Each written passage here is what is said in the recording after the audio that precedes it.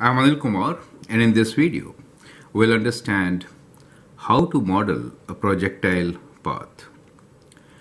A rocket is launched from the height of 2 meters and reached maximum height of 50 meters at a horizontal distance of 20 meters. Determine the equation to model the path of the rocket.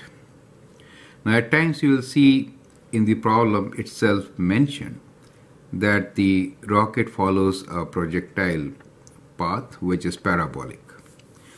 So the path which actually the rocket we are talking about is a parabola which can be easily modeled with the help of quadratic function. So let me first sketch what we are talking about. Let's say a rocket is launched from the height of 2 meters. Let's say that's the height from where the rocket is launched it reaches a maximum height of 50 meters. So, so it goes, reaches the maximum height, and then falls down.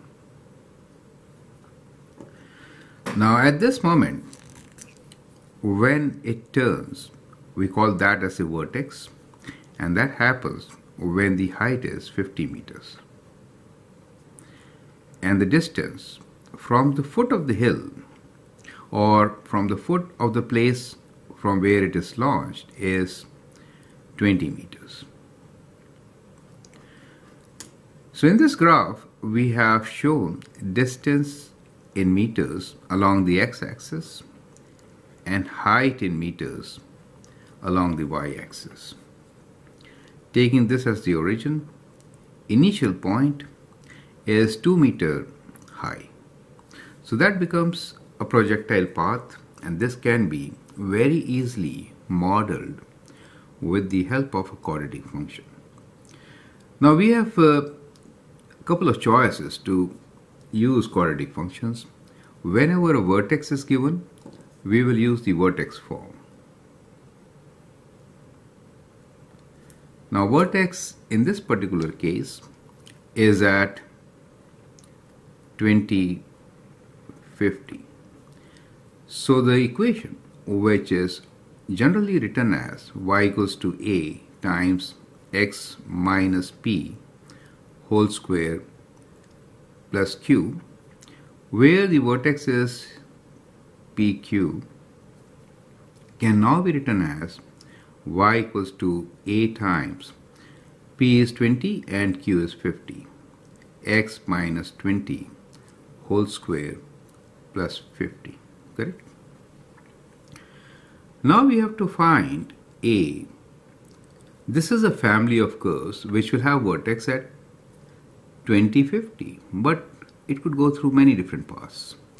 We want to model exactly the path which has been described here.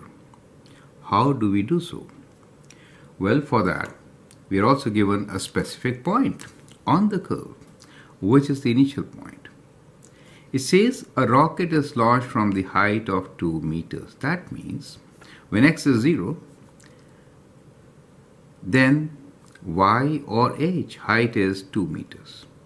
So we can use this point to find the value of a. So we'll substitute 0 for x, 2 for y and calculate. So y is 2, a 0 minus 20 whole square plus 50. How do we solve this equation? We have to take away 20, uh, we have to take away 50 from 2 and then divide by minus 20 square which is 400, right? So let's rearrange. So we have 2 minus 50 equals to a times minus 20 whole square is 400. It's a plus value, right?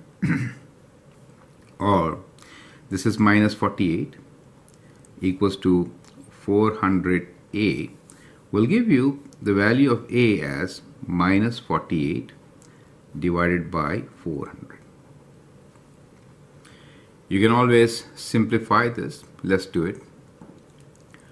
You can divide them both by, let's write it on this side. Let's write it on this side. So a is minus 48 over 400 you can use calculator right or let's simply divide it by 4 first 100 4 times 1 and 2, 12. We can again divide by 4, 4 times 3 and 25. So that gives you a value of a as minus 3 over 25. So once we have the value of a, we can write down our function, right? So the function is y equals to minus 3 over 25 that's the value of a. X minus 20 whole square plus 50 right? So that becomes a general equation to model the given path. You will see when we started off we took distance along the x-axis height along the y-axis so we actually follow a convention and that is uh, saying that specifically when we are working on word problems like this, application questions, we should use the variables which we have used. So here x should be replaced by d and h should and y should be replaced by h. So strictly speaking, I should write this as h equals to minus 3 over 25 and not x but d. Since I used d in my graph I could have used x and y there okay? D minus 20 whole square plus 50 now those of you who are doing functions they can also write this equation as h within bracket d. Since the height has been written as a function of distance d do you get it so we could write also our answer as 3 over 25 d minus 20 whole square plus 50. So preferred answer is that final one. However, uh, depending on what you're doing, how you have been taught this topic, any of these three equations could be correct, right? Any of these three could be correct.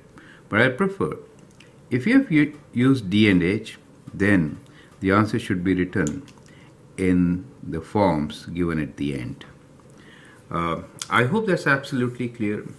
My explanations to the problems on YouTube uh, could vary since uh, many students from different parts of the globe uh, see them and I'm not very sure how they've been taught in their own country.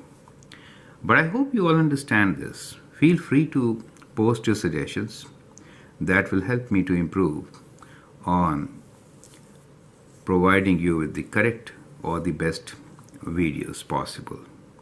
Thanks and all the best.